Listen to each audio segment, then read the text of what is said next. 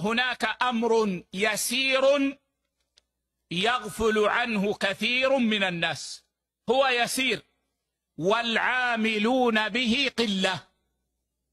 ما هو؟ هو قراءة سورة تبارك في كل ليلة. مما ينجي من عذاب القبر. أن يقرأ المؤمن سورة تبارك في كل ليلة.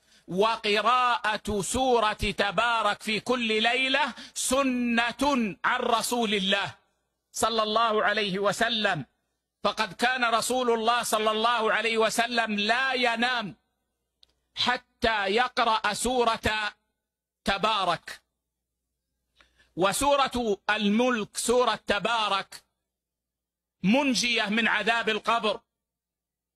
جاء عن ابن مسعود مرفوعا سورة تبارك هي المانعة من عذاب القبر.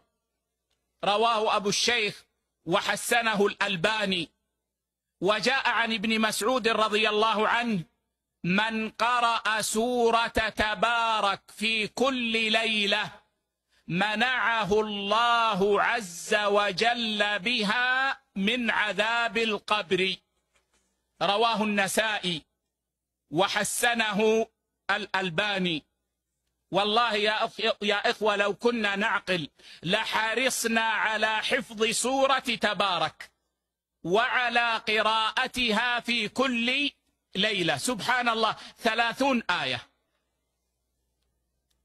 ربما نقرأها في خمس دقائق وإن أبطأنا إلى سبع دقائق.